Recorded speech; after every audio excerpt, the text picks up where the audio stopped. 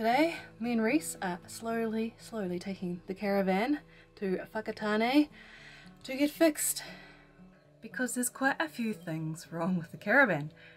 The main thing is an insurance job because a ladder accidentally fell onto the side of the caravan and pierced through the aluminium. It actually took quite a long time going through my insurance and finding a repair company and then the slow, slow process of being approved to go ahead. But next week they can finally start. And while it's there, I've got a few more jobs for them to fix for myself as well. Like the kitchen bench has been pulling away from the side of the caravan and it's reached the point where Hayden doesn't feel comfortable trying to fix it himself and I haven't been able to jiggle it back into place. Let's get the professionals to try. These are the, the parts that have been falling out, all the screws. Because it, it all seems to have twisted as well.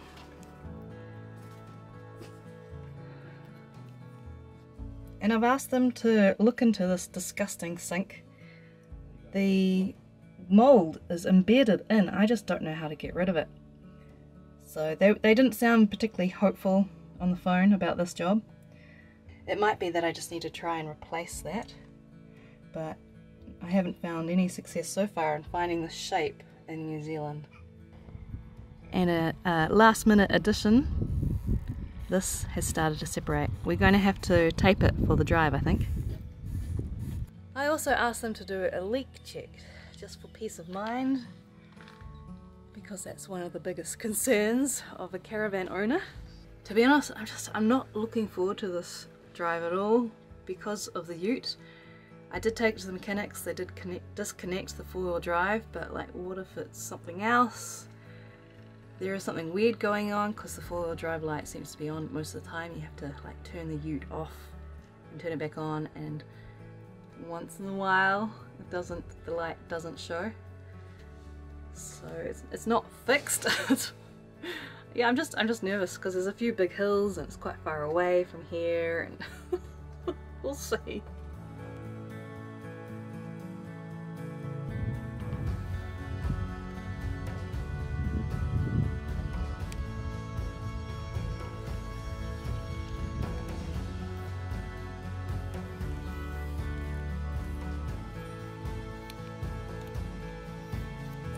Yay.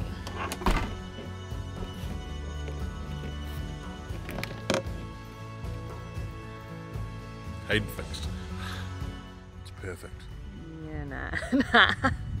Poor caravan. And we're off. Do you want to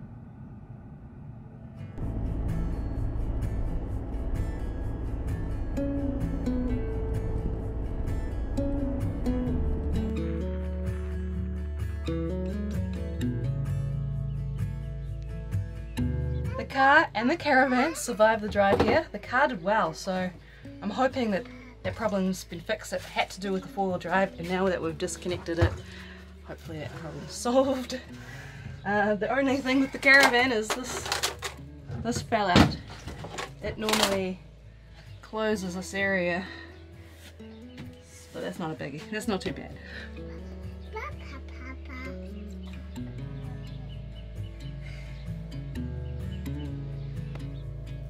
Doing, Reese? Hmm? What are you doing?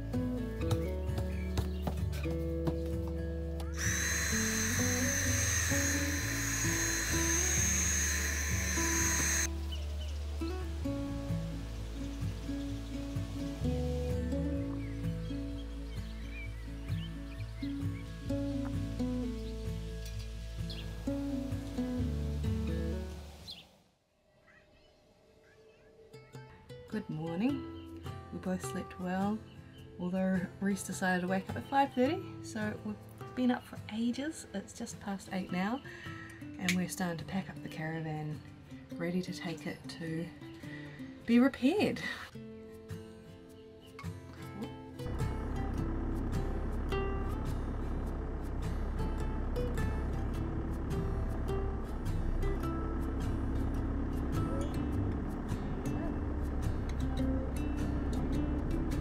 I reached the boom gate, it wouldn't open. I gave them a call from the car, and turns out it's been a bit temperamental. So I got some early morning reversing to wake me up.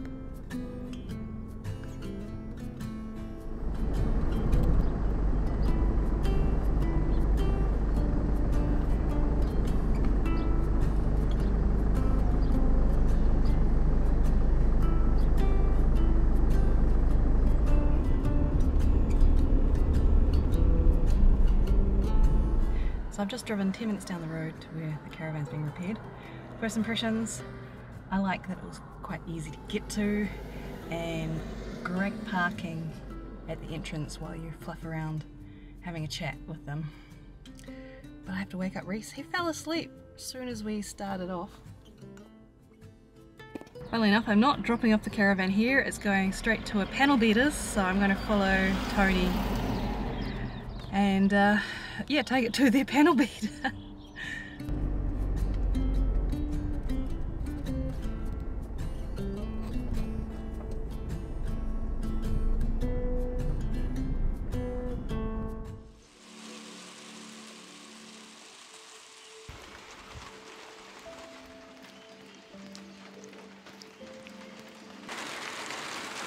So we made it home. The ute survived, did well, and we're now cooking outside. Not the best weather for it.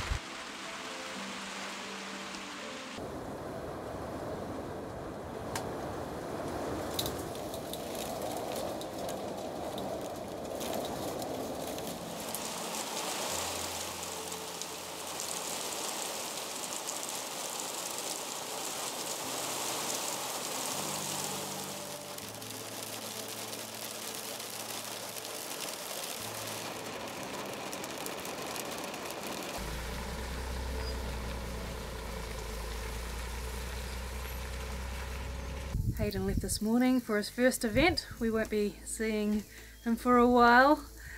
And so this is my first night cooking without the caravan. And I miss Hayden, but I really miss my caravan.